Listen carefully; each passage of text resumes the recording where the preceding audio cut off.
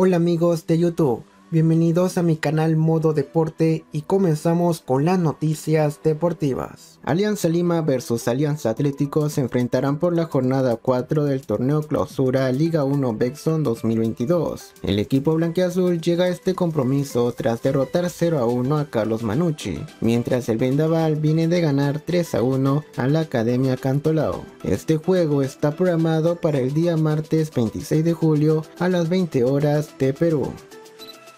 Alexander Shinchenko es nuevo jugador del Arsenal. Así lo ha hecho oficial tanto el club Gunner como el Manchester City. Hay que resaltar, el pase de lateral tiene un costo de 35 millones en costes fijos y 3 millones en variables. Ojo que el técnico del club manifestó su alegría por contar con un jugador de la calidad del joven ucraniano.